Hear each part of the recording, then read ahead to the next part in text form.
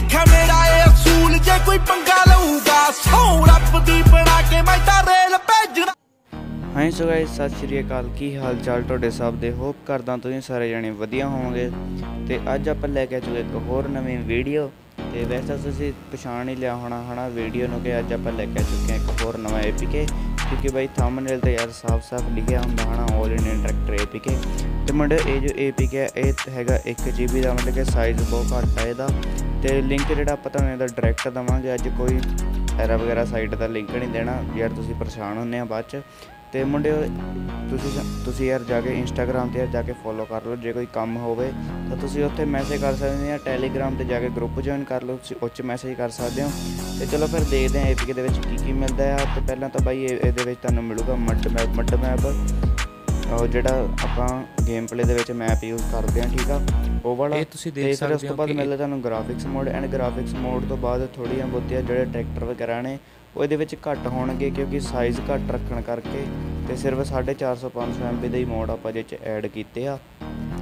ਤੇ ਚਲੋ ਫਿਰ ਦੇਖਦੇ ਹਾਂ ਤੁਹਾਨੂੰ ਕਿਹੜੇ ਕਿਹੜੇ ਟਰੈਕਟਰ 'ਤੇ ਮੋਡ ਮਿਲਦੇ ਆ। ਪਹਿਲੇ ਨੰਬਰ ਤੇ ਮਿਲਦਾ ਮੁੰਡੇ ਤੁਹਾਨੂੰ ਇਹਦੇ ਵਿੱਚ ਆਰਬੀ ਮੋਡ ਦੇ ਦਵਿੰਦਰ ਮਾਨ ਬਾਈ ਵਾਲਾ ਅ, ਨੂਰ ਉੱਪਲ ਵਾਲਾ ਟਰੈਕਟਰ ਤੇ ਫਿਰ ਮਿਲਦਾ ਹੈ ਤੁਹਾਨੂੰ ਇਹ ਚ ਫੋਰਡ 3600 ਜਿਹੜਾ ਮੋਡੀਫਾਈਡ ਆ ਜਾਂ 3600 ਕਿਹਾ ਜਿਹਨੂੰ ਆਪਾਂ।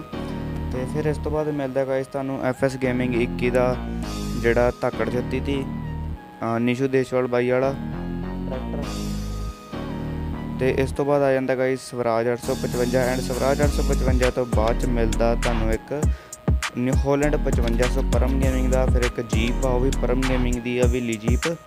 ਤੇ ਇਸ ਤੋਂ ਬਾਅਦ ਆਉਂਦੀਆਂ ਟਰਾਲੀਆਂ ਟਰਾਲੀਆਂ ਹੈਗੀਆਂ ਬਾਈ ਦੋਵੇਂ ਸਕਦੇ ਹੋ ਹੀ ਕਿ ਈਵਲਸ ਗੇਮਰ ਬਾਈ ਵਾਲੀਆਂ ਇੱਕ 30 ਫੁੱਟ ਇੱਕ ਆਲੂ ਵਾਲੀ ਟਰਾਲੀ ਤੇ ਦੋਵਾਂ ਦਾ ਹੀ ਆਪਾਂ ਜਿਹੜਾ ਕਲਰ ਆ ਉਹ ਚੇਂਜ ਕੀਤਾ ਹੋਇਆ ਤੇ ਵਰਜ਼ਨ ਹੈਗਾ 0.63 ਇਹ ਇਸ ਕਰਕੇ ਆ ਤਾਂ ਕਿ ਲੈਗ ਵਗੈਰਾ ਨਾ ਹੋਵੇ ਤੇ ਇਸ ਤੋਂ ਬਾਅਦ ਹੁੰਦੇ ਗਾਇਸ 100 ਮੀਟਰ ਦੀ ਸੀਡਰ 100 ਮੀਟਰ ਦਾ ਕਲਟੀਵੇਟਰ 100 ਮੀਟਰ ਦੀ ਕੋਟਨ ਵਾਲੀ ਮਸ਼ੀਨ ਤੇ 100 ਮੀਟਰ ਦਾ ਇੱਕ ਕਣਕ ਵੱਢਣ ਵਾਲਾ ਕਟਰ ਤੇ ਫਿਰ ਆ ਜਾਂਦੀ ਹੈ ਇੱਕ ਹੈਰੋਂ ਤੇ ਹੋਰ ਵੀ ਟੋਚਨ ਟੂਚਨ ਵਾਲੀਆਂ ਚੀਜ਼ਾਂ ਜਿਹੜੀਆਂ ਸਾਰੀਆਂ ਵਿੱਚ ਨੇ ਤੇ ਇੱਕ ਆ ਕੋਟਨ ਵਾਲਾ ਆਟੋ ਲੋਡਰ 20 ਬੇਲਾਂ ਵਾਲਾ ਤੇ ਹੋਰ ਸਾਰਾ ਟੋਚਨ ਟੂਚਨ ਵਾਲਾ ਸੌਦਾ ਪੱਤਾ ਵਿੱਚ ਆ ਤੇ ਉਹ ਆਪਾਂ ਵੀਡੀਓ ਦੇ ਵਿੱਚ ਤਾਂ ਆਪਾਂ ਤੁਹਾਨੂੰ ਚੱਲ ਤੁਹਾਨੂੰ ਨਹੀਂ ਦਿਖਾਇਆ।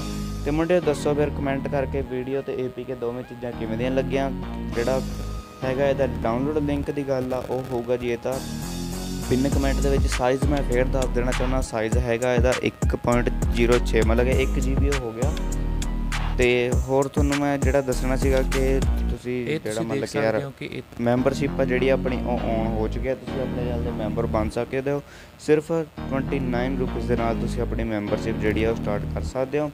ਅਤੇ ਜਿਹੜਾ ਆਪਣਾ ਫੋਨ ਦਾ ਤੁਹਾਡੇ, ਮਤਲਬ ਜਿਹੜਾ ਤੁਸੀਂ ਫੋਨ ਯੂਜ਼ ਕਰਦੇ ਹੋ, ਉਹਦਾ ਨਾਮ ਅਤੇ ਉਹਦੀ ਰੈਮ ਕਮੈਂਟ ਦੇ ਵਿੱਚ ਜ਼ਰੂਰ ਦੱਸਿਓ ਤਾਂ ਕਿ ਮੈਂ ਉਹ ਤੋਂ ਮਤਲਬ ਕਿ ਥੋੜ੍ਹਾ ਜਿਹਾ ਹਿਸਾਬ ਲਾ ਸਕਾਂ ਕਿ ਨੈਕਸਟ ਮਤਲਬ ਕਿ APK ਜਿਹੜਾ ਐਵਰੇਜ ਕਿੰਨੇ ਕਿ ਮੈਨੂੰ GB ਦਾ ਬਣਾਉਣਾ ਚਾਹੀਦਾ।